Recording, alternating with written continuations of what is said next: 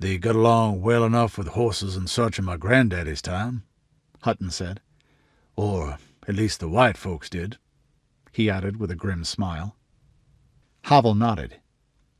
Hutton didn't have much formal education, but he was no fool. In fact, he was about the most all-round competent man Havel had ever come across, even out here in the backwoods. But they didn't get along without telegraphs, or steamboats, or without guns a hundred years ago, he said. Not for a long time before that. You'd have to go back a thousand years nearly, I think, before it wouldn't make a difference. Someone, something, wanted us knocked way down. Hutton made a final tie-off and fingered the knot. I hate to think the good Lord judged us that wicked. He promised to Noah no more water, but this time he took away the fire. Could be, Havel said. He was actually an agnostic, but there was no way to disprove the Texan's idea. Myself, I think Ken's got it right.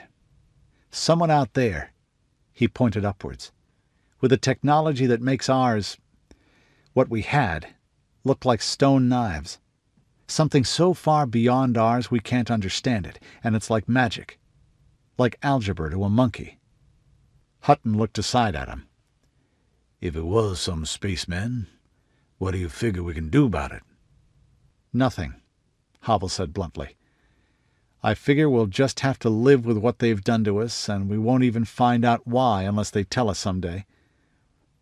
In the meantime, we have to find a way to live in the world they gave us. You and I and our kids. Mine when I have them, that is. He looked at the sun.